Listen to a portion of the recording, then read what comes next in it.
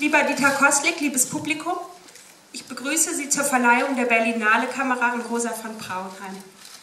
Lieber Rosa, ich bin sehr glücklich und es ist wunderschön zu sehen, wie dein Werk in den letzten Jahren immer mehr gewürdigt wird und wie es offensichtlich wird, welche Spuren du hinterlässt mit deinen Filmen, aber auch auf die Menschen, ähm, die mit dir arbeiten und die das Glück haben, in deiner Nähe zu sein.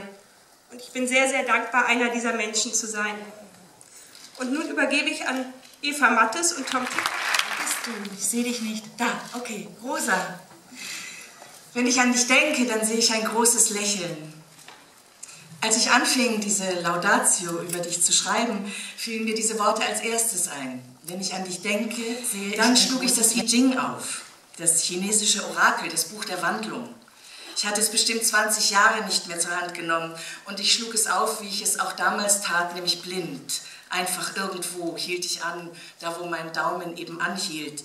Das war dann die Seite 467 mit dem Titel Die Mundwinkel. Da musste ich dann auch lächeln. Er ernährt den Würdigen und erreicht so das ganze Volk, heißt es weiter. Besser hätte ich es nicht treffen können. Denn mit deinen zweimal 70 Filmen hast du uns in der Tat was zum Fressen gegeben. Jedes Mal, wenn ich einen Abend mit deinen Filmen verbringe, fühle ich mich reich ernährt. Treffe ich Menschen, die mir durch dich ihre Lebensgeschichten anvertrauen. Betroffen und lächelst? Bleibst auch neutral, das ist schön. Du beurteilst und verurteilst nicht. Du gehst dem Leben nach mit sanfter Beharrlichkeit, du willst es einfach wissen. Du hast keine Scheu davor, zu weit zu gehen, den Bogen zu überziehen, und so läufst du in rosa Anzügen mit großen Penissen auf dem Kopf, outest Männer, die nicht darum gebeten haben, machst dir Feinde, die du nicht fürchtest, um die Bewegung nach vorne zu treiben, die schwule Sache. Am Ende sind die Empörten erleichtert und dankbar für die Befreiung, in die du sie gezwungen hast. Ich denke, es amüsiert dich, wenn du wieder einmal einen Menschen triffst, der nicht weiß, ob er über sie oder Eine über ihn spricht. Eine Laudatio für Rosa steckt in dem folgenden Film, der gleich kommt. Äh, deshalb vorab hinzugefügt sozusagen nur dies. Ähm, wir sehen so viele Filme, wir lesen so viele Bücher und wir betrachten so viele Kunstwerke, die im Ungefähren verweilen und die dort stecken bleiben, die ängstlich vor sich hin selbst, nee, die ängstlich vor sich selbst zurückschrecken, die das irgendwie und das vielleicht stark machen und die dann vielleicht mit ganz viel Mühe ein bisschen interessant, ein bisschen relevant, ein bisschen schön, aber immer auch ein bisschen öde sind. Rosa hat nicht eine einzige Arbeit in seinem Leben so gemacht.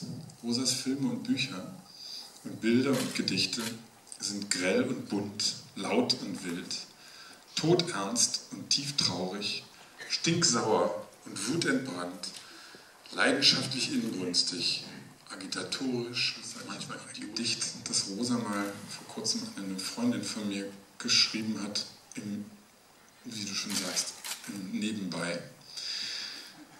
Also Rosa sagt, wenn ich an die Zukunft denke, dann habe ich meine Bedenken. Wenn ich zurückblicke, dann mild und weise, aber wenn ich nach oben schaue, dann sehe ich eine Rose, die leuchtet in allen Farben.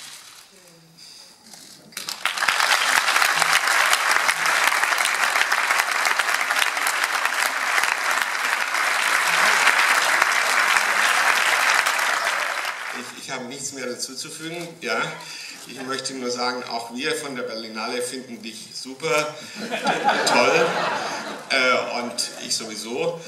Ähm, äh, den letzten äh, ähm, Kontakt, den wir in Hollywood hatten, den habe ich noch in Erinnerung. Du standst auf der anderen Seite der Straße und äh, mit deinen Studenten und da passierte das, was Eva gerade erwähnt hat. Äh, freudig hat mir äh, Rosa zugewunken und gerufen und natürlich gelacht und Ich bin äh, hypnotisiert wie Bagheera die Schlange über den Zebrastreifen gelaufen, nicht sehr weit, weil mir dann dieser unglaublich große amerikanische Schlitten über die Füße gefahren ist. Das war ein schöner Tag. Ich werde ihn nicht vergessen, Rosa. Ich danke dir ganz herzlich dafür und für deine großartige Filmarbeit, auch bei der Berlinale und deine Treue. Gibt es jetzt eine Berlinale Kamera?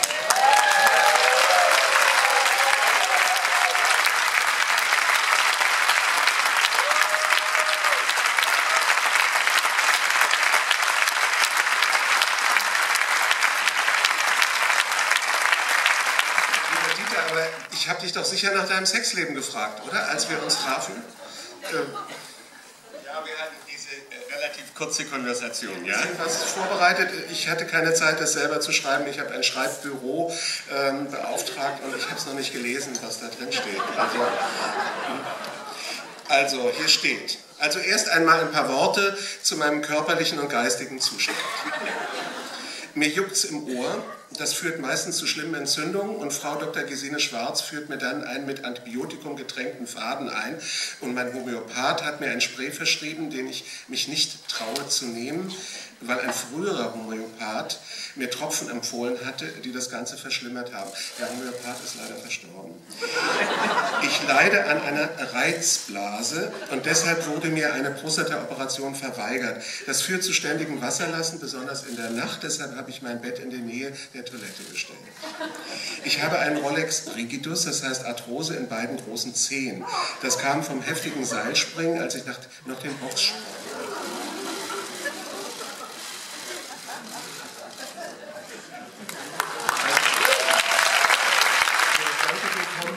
Sehr schwierig, hier das Armloch zu finden.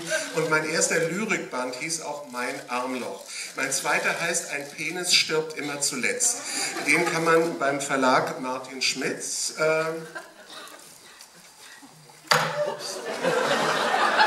bestellen ebenso wie mein Buch äh, Rosas Rache. Das sind Tagebuche aus 50 Jahren, also auch beim Martin Schmitz Verlag. Das Buch hat sich bisher schlecht verkauft. Warum ist mir ein Rätsel? Mein Freund meint, weil darin zu viel Sex vorkommt. Neben meiner großen Begabung als Dichter und Maler mache ich ja auch Filme. Gerade arbeite ich an meinem neuesten Werk Jesus und Hitler, eine Liebesgeschichte. Nach dem ersten Rohschnitt hat mich mein Freund Oliver so zusammengeschissen, dass ich jetzt den Feinschnitt meinem genialen Cutter Frank Brummund überlasse. Der hat sich aber beim Skifahren ein Bein gebrochen, insofern kann er erst im Frühjahr weiterarbeiten an dem Film. Inzwischen mache ich einen Film mit dem Titel Ich bin ein Hypochonder über unterschiedliche Heilmethoden.